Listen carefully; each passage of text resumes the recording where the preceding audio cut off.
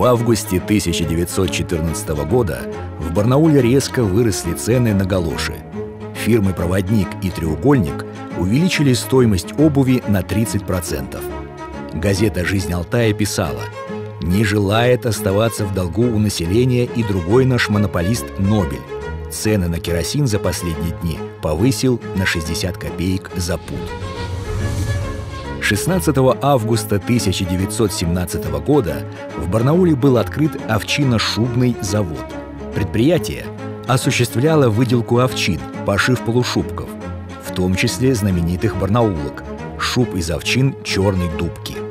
В годы Великой Отечественной войны завод выпускал армейские бекеши. 16 августа 2019 года губернатор Алтайского края Виктор Томенко встретился с заместителем председателя правления Россельхозбанка Алексеем Ждановым. Они обсудили вопросы дальнейшего сотрудничества. За 7 месяцев 2019 года Алтайский филиал банка направил на поддержку аграрно-промышленного комплекса региона почти 5 миллиардов рублей.